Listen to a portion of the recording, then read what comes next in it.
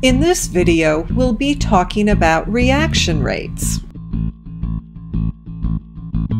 Rate is a change in some property over time. A common example you should be familiar with is the speed of a vehicle, which we define as the distance the vehicle travels, divided by the time it takes for it to get to its destination. We can also talk about rates in the context of chemical reactions. Different reactions proceed at different rates. Some reactions proceed very quickly, such as this explosion, and others proceed much more slowly. Knowing a reaction rate can be important, especially if you want to know how much time it's going to take for a particular reaction to happen. We tend to measure the rate of a reaction in terms of how much reactant is being consumed or how much product is being produced in a given amount of time. And just like with the speed of a car, we can derive equations that will help us calculate rates of reaction. Sometimes we calculate rates in terms of how quickly the reactants are disappearing in a certain time period, and sometimes we calculate them in terms of how quickly the products are appearing in a certain time period. So how exactly do we measure a reaction rate? Well, we will often measure it based on a change in some observable physical property that changes as the reaction proceeds. Examples include color change, light absorption, this is what Beer's law is helpful for, change in volume, change in pressure, or even change in a solution's conductivity. Now let's take a look at the mathematics of this a little more closely. Now let's consider a reaction in which we have a reactant A that's reacting to form a product B. If we plot the concentrations versus time, we'll get a graph like this one. Initially, only reactant A is present, and the concentration of B is zero because it hasn't been made yet. Over time, the concentration of A decreases as A reacts to form more product B. The concentration of B will increase, of course, as more B is formed. Just like we can derive a mathematical expression to describe the speed of a race car, we can derive a mathematical expression to describe the rate of a reaction. An equation that we call the rate expression lets us calculate the rate of a reaction in terms of a concentration. This particular equation lets us calculate this in terms of the concentration of a reactant.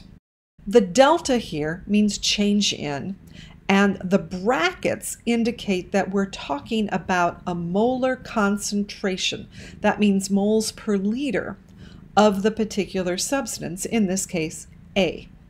T means time, so delta T means change in time or over a certain period of time.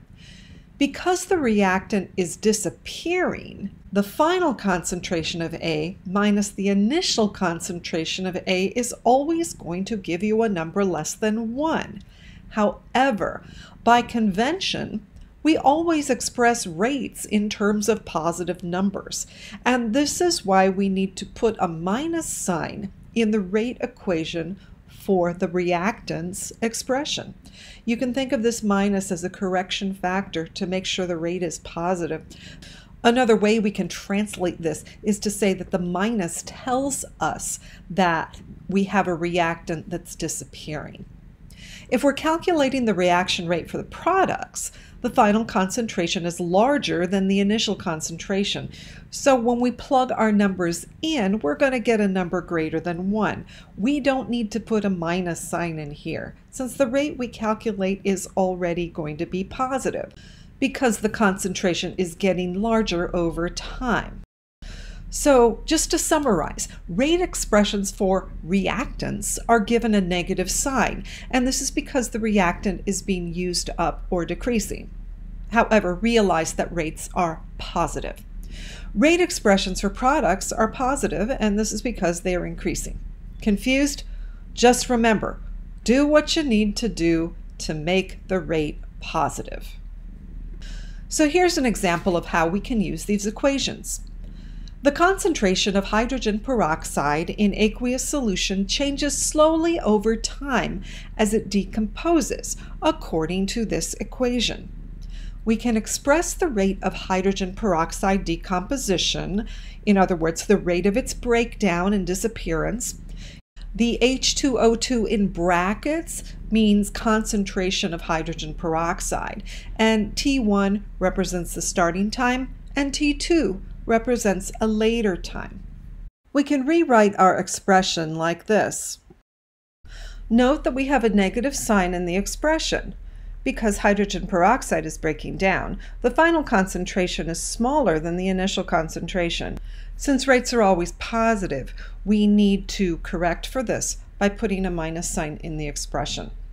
If we want to calculate the rate of formation of water or oxygen, we don't have to include a negative sign in the rate equation because the final concentrations are larger than the initial concentrations.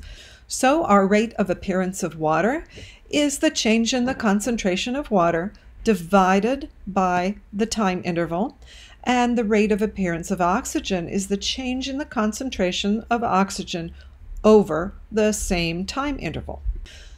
The units for reaction rate are moles per liter per unit time, and that's because concentration is in moles per liter, and we are dividing this by time. We could also say molar per unit time, or molar times time to the negative 1, where molar equals moles per liter. Often our time is in seconds, so sometimes we'll use the term molar per second, and this is the same as moles per liter per second. So get used to seeing units in all these different forms, but make sure you pay attention to the problem. You're going to run into some problems that use minutes or hours instead of seconds. Make sure to use the time unit that the question asks for. Let's look at the following example. The concentration of hydrogen peroxide was measured every six hours over the course of a day at a constant temperature of 40 degrees Celsius. The initial concentration was 1.000 moles per liter. After six hours, the concentration had decreased to 0.500 moles per liter. What's the average rate of reaction during the six hour time interval? Well, we make our rate equation and notice that we have a minus sign, and this is because hydrogen peroxide is disappearing. When we substitute our numbers in, we get an answer of 0.0833 moles per liter per hour or moles times liters to the negative 1 times hours to the negative 1. And we use the unit hours because that's what we were given. Now, rather than using moles per liter in our calculations, we could have also used molar, which is the same thing. Here's another example. We have a table that shows data for the same reaction described in the previous example. The data was collected over an entire day, and the rate equation we used in the previous example was used to calculate the rate of decomposition during various different time intervals. Notice how the rate of decomposition decreases with each time interval.